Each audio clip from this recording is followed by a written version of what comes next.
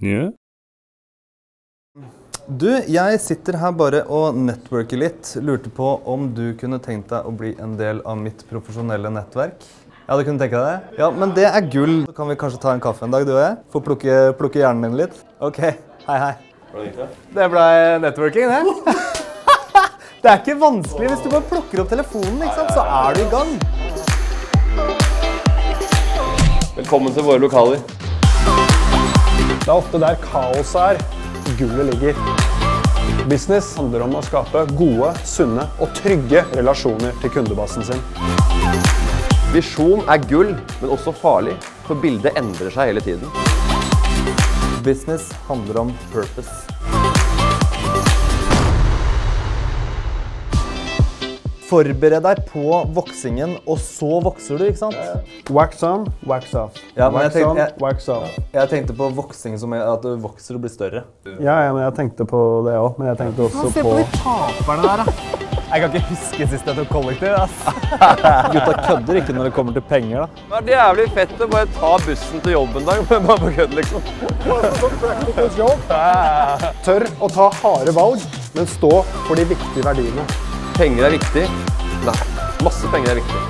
Lage et svært stunt og tro at det er noe svært, men så er det ingenting.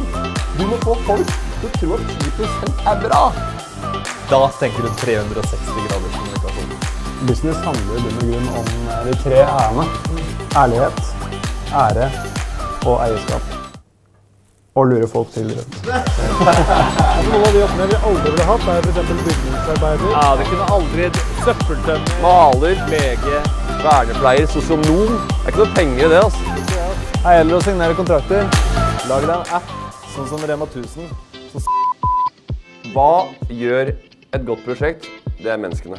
Det å drive forretning, det er ikke bare business og det å tjene penger, men det er å ha et fantastisk kickoff-party med kjendis som konferansier. Truls, vi har 2500 kroner. Vi har kickoff-party på lørdag. Potensielle. Er du åpen på lørdag? Hva om jeg sier eh, 3000 kroner? Jeg ses på lørdag. Tror du det? Du kan ta med en venn. for Det er gratis drikke. Det er klokka syv. tenker jeg. Opptatt Alle CEOs ønsker å være rockestjerner. Og alle rockestjerner ønsker å være CEOs.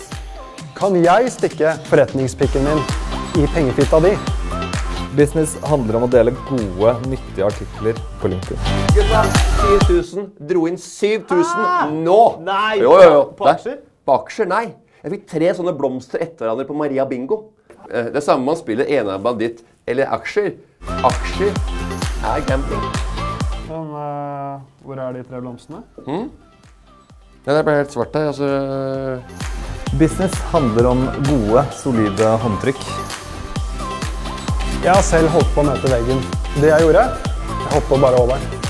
Jeg har også møtt veggen. Jeg hoppa ikke over. Jeg løp rett gjennom. Det gjør vondere, men det er kortere tid. Første kunden. Det er den som gir den første millionen. Men den kommer liksom av kunden, den millionen. kanskje. Venter du på noen? Ja, vi venter på kontorlokalet vårt. Det er ikke noe ledig her før i morgen tidlig. Ja, ok. Kanskje vi prøver å komme oss litt eh, tidligere på plass i morgen. da. Vi ses i morgen. Ja, veldig hyggelig. Ik zet de bak in op. Bak in. Make money live comfortably. Ah. Yeah?